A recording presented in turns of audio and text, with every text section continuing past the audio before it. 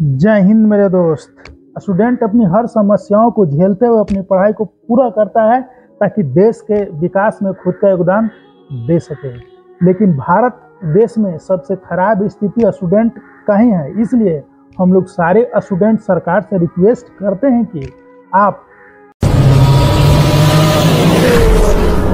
Student के लिए एक खुला मंच बनाएँ जहाँ से स्टूडेंट अपनी भावनाओं को पब्लिक के सामने व्यक्त कर सके, ताकि पब्लिक भी स्टूडेंट के भावनाओं को समझे और स्टूडेंट को सपोर्ट कर सके। खैर, इस चैनल पर स्टूडेंट का मुद्दा ही उठाया जाता है, इसलिए इसलिए इस चैनल से आप लोग जुड़े, सब्सक्राइब करें, ताकि हम लोग का आवाज़ और भी बुलंद हो। अगर वीडियो पसंद आए तो लाइक कीजिए और शेयर भी करिए अपने Facebook gram, Instagram, WhatsApp group पर।